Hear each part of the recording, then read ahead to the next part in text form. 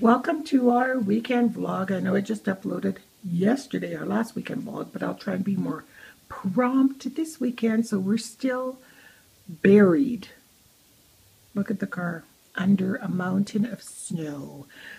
But sadly, I noticed that we heard the ambulances coming to our neighbor's house.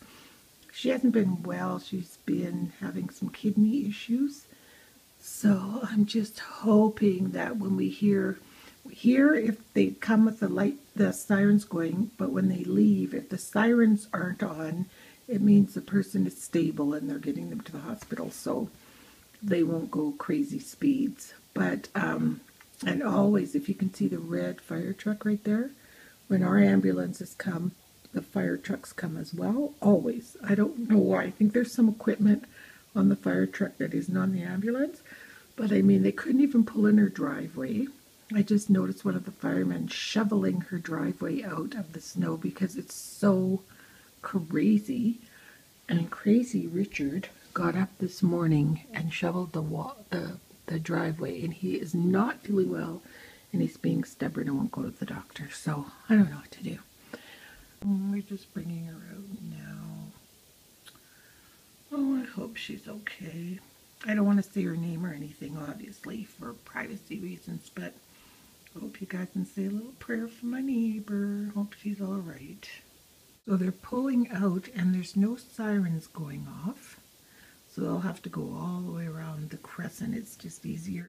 So it is still really cold and we're still locked in. So I thought I would make some nice chili for Richard and I. This is a turkey chili. I think I might add a little bit of corn to this too.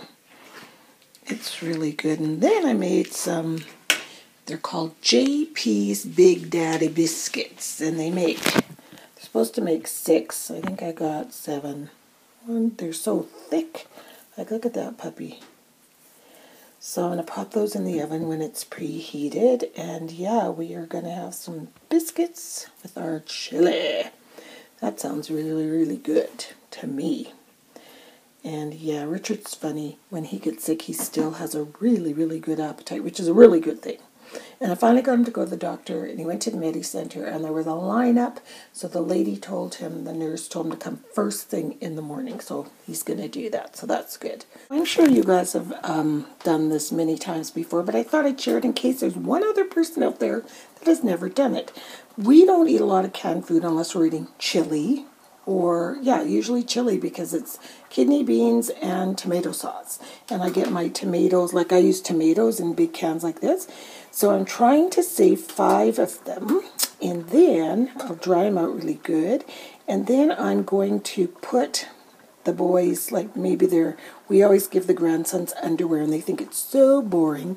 So I'm going to put their underwear in here. And then I'm to, I'm sure you guys have done this before. I've done it for crafts.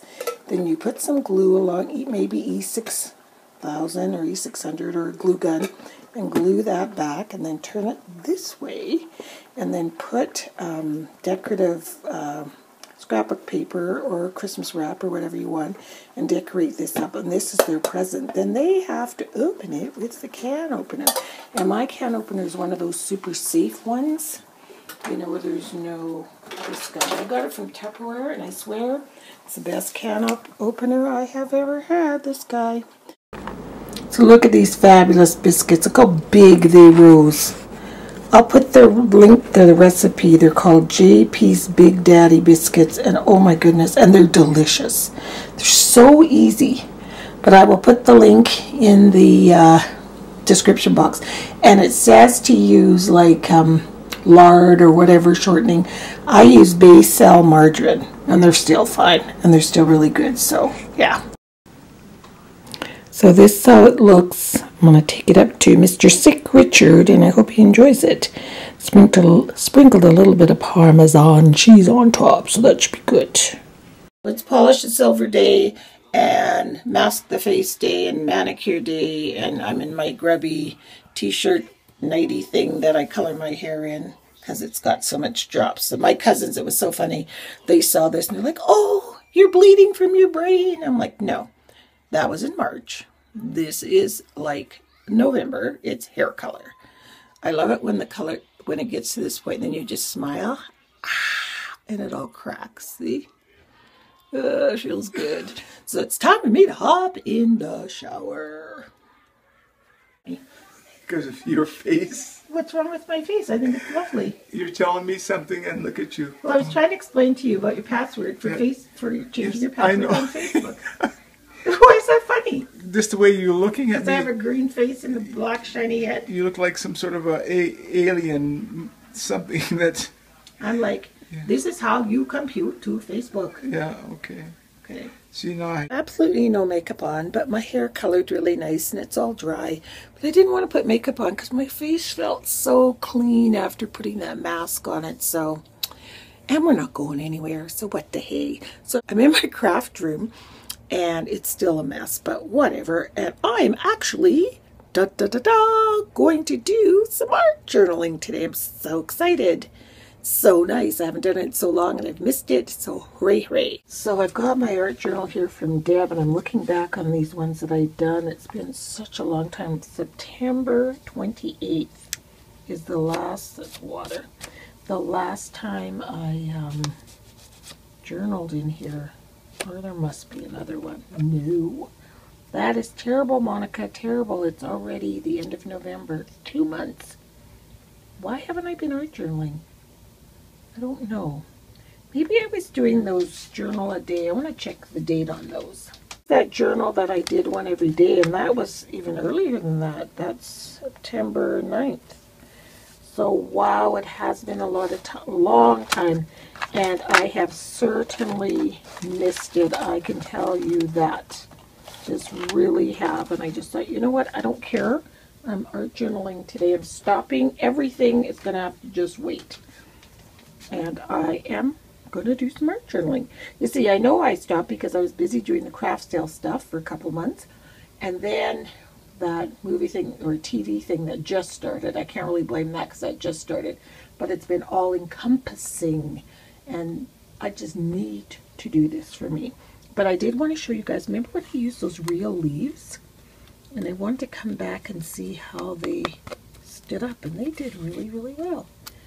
That's good. Everything in here looks really good.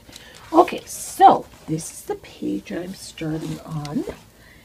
Nice, isn't it? There's nothing better than a nice blank art journal page. Is there? I mean, just to to commence creating on. I love it.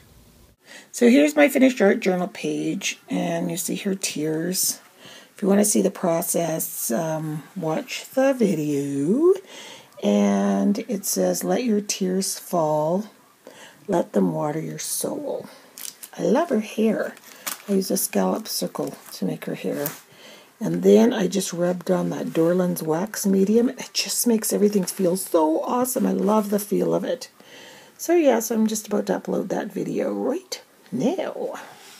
At the last minute last evening, I decided to take her third tear off because it looked like a, I don't know, it didn't look right. It looked like a seed or an almond in her eye or something weird.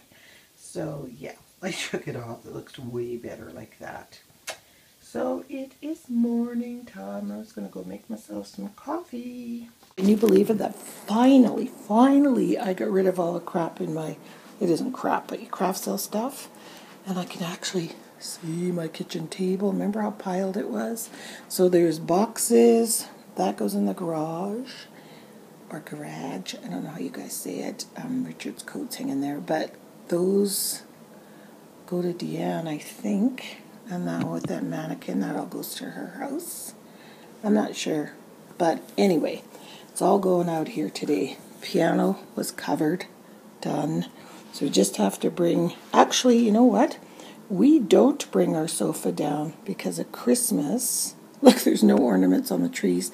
Boxes of candy canes I'm going to take out and hang on the tree, real ones, because those are ornaments that were for sale, those couple that are left. It's kind of funny. So it looks like my tree's up, but not really, you know? And one beauty, though, is when I do um, my craft sale, it's right before Christmas, so I don't have to then, for example, go and take down the photos that were off the piano twice. They just stay like that, and then I will decorate for Christmas. So that works out really, really well. But oh, that was a big job, and I am glad it's done, and we're still buried under snow, but the sky is blue. Oops, that's a curtain thing for the blinds thing. Sky's blue, it's freezing cold. I think it's like minus 31 or something weird like that. Last night it was minus 43. And second, Grey Cup. So it is um, the Grey Cup here in Canada, which is the CFL's version of the stat of the um, Super us in Bowl. And the funniest thing, let me turn this down a little bit. The funniest thing about the Grey Cup, like my dad played the Grey Cup in the Grey Cup several times, and he's had or has three Grey Cup rings. And um, before the Grey Cup, that was you can see the cup in the back, that gray silvery thing, and it was never really mounted up on this big huge thing. It was just kind of the cup before they start putting all the inscriptions of all the teams on it back in the 50s because he won 54, 55, and 56. And I must have been in 54, and they brought, they were able to bring the cup home to the players' houses. So they brought it home, and I don't know if they had it in the living room or on our front lawn. I can't, must have been the living room because Grey Cup is in the middle of um, November. And I thought it was a potty, and I sat down and got ready to pee in it. And so every time I watch these players when they go to drink champagne out of the Grey Cup, I always have the funniest chuckle. I mean, I know it's been cleaned. It's been how many years? Well, I'm 63 and I would have been three. So it's 60 years ago, but still, it's pretty funny. So, yeah, this is our version of the Super Bowl. He's cray cray. So he this year it is, I believe, Hamilton playing Calgary, and Calgary is a city. It's our kind of rival city right to the south of us. So my Richard had to go drop something off at Deanna Brody's, and we always get things like chicken wings and spring rolls and fun food like that. Always, always, always, always. Just as a little tradition. It's just like Super Bowl, you know. You have your Super Bowl snacks. So guy looks kind of like John Legend. So while we're watching the game, I am going to put together this little holiday binder thing. It's supposed to go in a binder, but I'm going to use my Bind-It-All.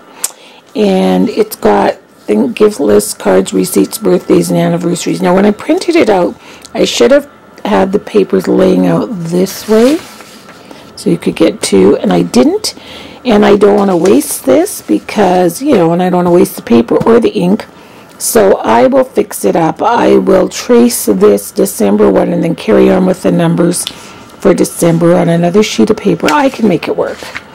And um, I know this sheet was just blank with a little tab, so that's no biggie. I might just glue it on some cardstock or something. Same with the birthdays, as long as I have the months there. So there's birthdays and anniversaries. It's quite cute. It was already made, you know, so it was a template. And this is month at a glance. I, I should put that in front of the November, December. And the gift checklist and receipts. Yeah, just kind of a fun little booklet to have your cards. They have more than, yeah, they only have one card thing, but I can always, um, again, make another sheet for the other side. Same with gifts.